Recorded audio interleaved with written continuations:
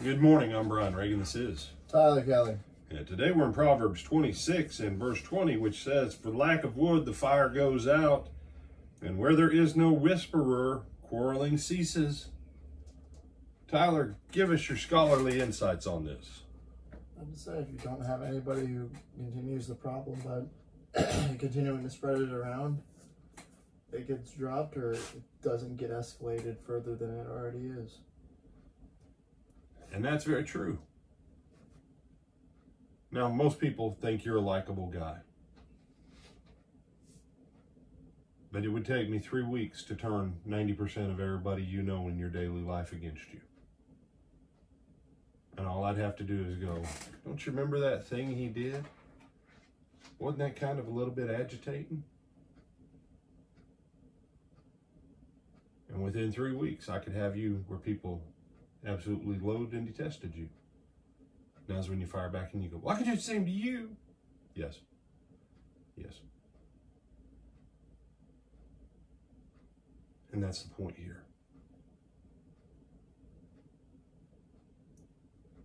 Someone in your church not like one of your elders? Well, you know, so and so, they did. Didn't we learn anything? Didn't we learn anything about not grabbing dogs by their ears? Didn't we learn anything by the whole I'm only joking? Didn't we learn anything from any of that? Shut your mouths. Well, I didn't like what the preacher said on this. I didn't like that point in the sermon. He should have. You know what? Quit. Quit. You're just saying this because you're a preacher. Uh-uh.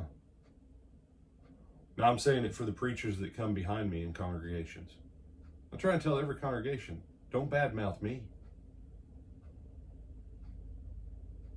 And I'm not the only preacher they ever badmouthed.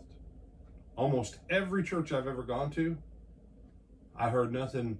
I've heard, you know, them tell me everything bad about the preacher before me. And I tell them, quit. Quit. Well, the preacher before you, quit. Quit. Let that stuff die out.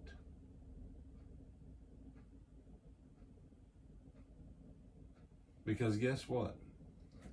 If Tyler's been trying to get his second cousin to come to church for the last 30 years, but every preacher that comes along, Tyler speaks nothing but bad about him for 30 years. And then finally, a preacher comes along that Tyler likes. You know what his second cousin's waiting for? me to say something else bad about this preacher. Yep. He's waiting for that shoe to fall. Well, you like him now because you liked all the others for the last 30 years for a while. And then all you did was complain about how terrible the people they were till they left. And what that ends up doing as time goes on, guess, believe it or not, sets you up where you've got no witness. Mm-hmm. So quit. Quit whispering, quit quarreling, quit complaining. I'm Brian Reagan. This is Tyler Kelly. And we'll see you tonight.